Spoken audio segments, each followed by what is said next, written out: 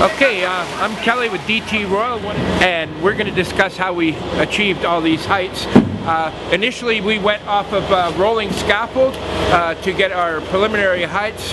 Uh, once we reached that elevation, then uh, it was all a, uh, a, teamwork to get the um, the bracing and scaffolding that you see in place here. It was just a lot of care and attention. Um, very, very simple procedure. Uh, you just have to do it methodically and uh, keep safety in mind.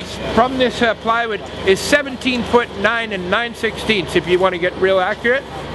So like I said, rolling scaffolding to get to the uh, heights where we can uh, attach the scaffold and then from there it's pretty well a cakewalk and again just do it methodically.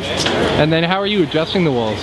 The like adjust the, the walls, the walls, On, on the base of the braces which uh, have adjustments here.